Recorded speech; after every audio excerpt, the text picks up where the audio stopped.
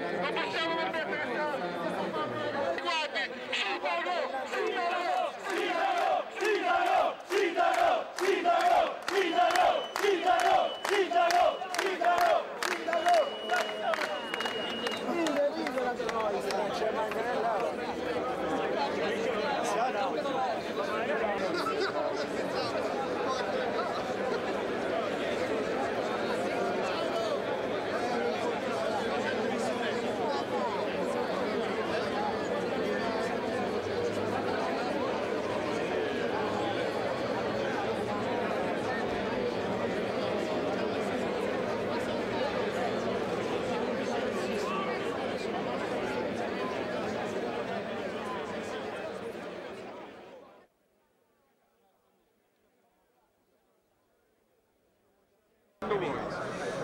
Abbiamo denunciato al prefetto gli atti che, ai quali abbiamo assistito stamattina che sono situazioni senza precedenti per questa comunità ternana.